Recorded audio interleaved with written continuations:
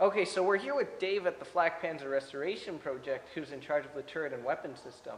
So obviously the turret's a different color from when we first came to you guys, um, and stuff has been going on. So can you let us know a bit about what you guys have been doing? Yeah, uh, the color has actually changed quite a bit. Uh, what we did was had uh, Wickens Dry Ice uh, sandblasting come in, and they sandblasted the turret for us. As well, we had base maintenance uh, do the paint job on, on it. Uh, the paint was uh, donated by Sherwin Williams. And the reason why we had it painted and changed was to get it back to uh, the original color. And we also took it down to uh, Kino Day uh, in May, on the 27th, 28th of May, uh, to show our progress on the project. So what we've also done is to get the turret off, what we had to do is weld brackets inside. Um, those brackets, uh, Mr. Metals down in Toronto uh, did the brackets for us. We had base maintenance here on base, weld them in. We did it inside so that when we take the brackets off after the turret is put back on the tank, it's, it's easier to uh, hide or fix the grind marks in that. It's easier. It's not going to show on the outside where most people are going to see it. And we're going to make it so that you can't see it even on the inside when we're done with it. There is battle damage uh, all through uh, across the turret as well. That battle damage is staying. We're not going to repair it or anything. So it's going to it's going to stay and it's going to look like it was in 1944, 1945 with the battle damage on it. Okay, so here we are at the uh, gun mounts, and holy crap, there's a lot of steel here. Yeah, there is uh, a lot of components that we've already taken off as well. Uh, a lot of components on the right hand side as well as uh, on the left hand side, the brackets, uh, recuperators, everything else that we've gone and that we're able to take off right now without uh, too much hassle. Uh, we've we've taken off.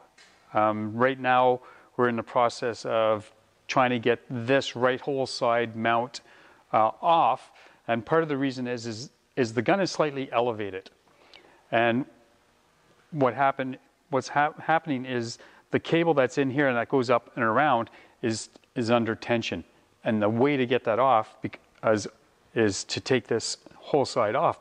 Part of the problem is is that on the other side here, there's a heavy duty coiled spring. And to get that off, we have to take this bracket off.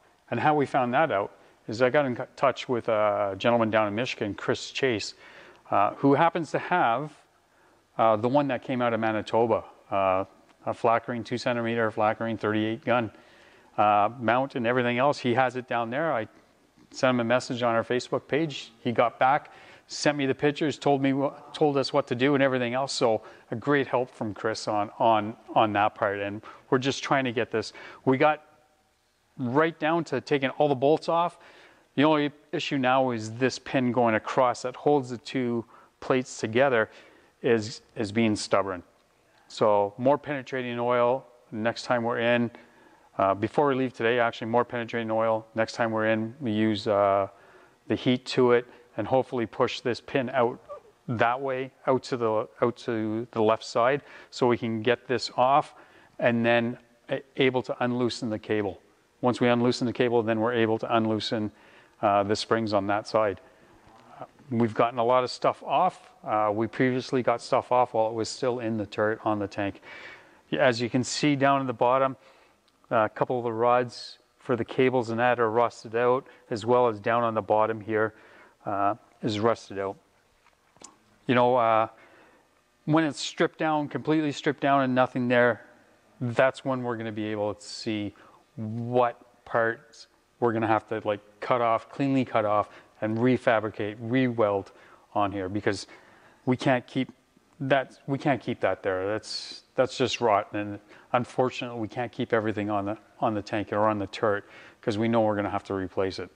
Now, on the subject of rot, now that you bring it up, one of the one of the questions that comes up a lot um, is why you guys cut these support beams over here. Okay, so as you can see, the support beams these would have been attached. They were attached at one time to uh, the the mount, and part of the reason why or the main reason why we cut them out, sorry, is that they were rotted from underneath. This is the underneath side. This is the top side. You can see they were already starting to split, but the bottom side, you can stick your hand in. Uh, the concern was safety for all of us working on the gun, inside the turret, and inside the chassis as well. So taking off the turret, when you had, we took the gun mount out first, then we took the turret off. But there's no way we could save these at all. There's at times that you have to cut the metal away because all it's going to do is just rot and rot, and we couldn't save these. For safety reasons, for that, we said, okay, let's cut them off. We'll save them, but that's the reason why we cut them off. You can't save, we can't save everything. And what we can save, we need to save it. It's all fun and games till uh, someone gets hurt, then it becomes a sport. But personally, I'd rather continue to have fun. Yes. yeah, good analogy, but you know, for, for what we're doing here, it's it's a it's a passion, it's a joy, it's relaxation, it's it's fun doing this, and all of us that are working on the project uh, look at it that way, and all have the same goal and mind goal in in in our minds, and seeing the end result of of this gun and this this tank rolling and taking it to the ranges and actually firing it. Ultimate goal. You can, I can see that. I can vision that, and that's that's where that's where it's going. It's there's no other no other way to do it. And it's it's the same for us. Uh, we will definitely continue to follow stock, you guys, Yeah. as the project goes on as much as possible. And yeah, so stay tuned, guys. Thanks a lot for your time, Dave. Yeah, no problems. Thanks. Appreciate having you guys around and enjoy it.